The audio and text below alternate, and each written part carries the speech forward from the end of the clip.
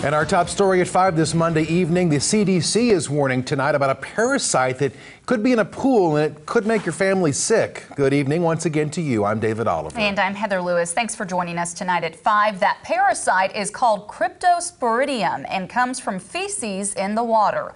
KOLR 10's Nija McDonald spoke with local health officials and is here to explain what they say you should do to help prevent getting sick. Nija. David and Heather, health officials say chlorine filters aren't enough to get rid of the bacteria nicknamed crypto, and the CDC reports an uptick of cases in recent years.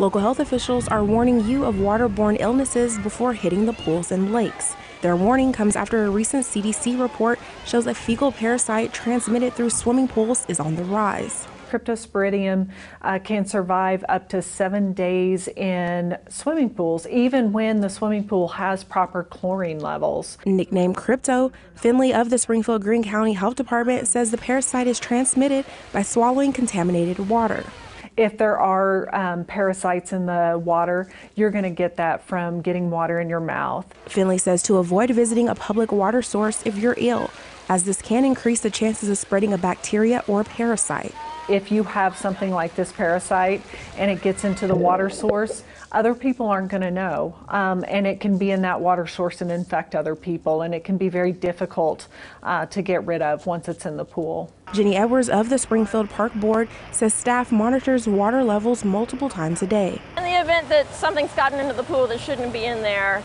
we uh, will evaluate it uh, based on a chart that the lifeguards keep. Edwards says the evaluation determines the staff's response. Anywhere from just removing the substance from the pool and checking that the chlorine uh, was where it needed to be at the time of the incident. If it is up to a type 7 level incident, we would need to close the pool and um, that was, that's when we would go into the hyperchlorination now, in addition to public pools, the health department says crypto can also be present in lakes and streams, which is why Finley says it's important not to swallow water while out swimming and cooling off from the heat.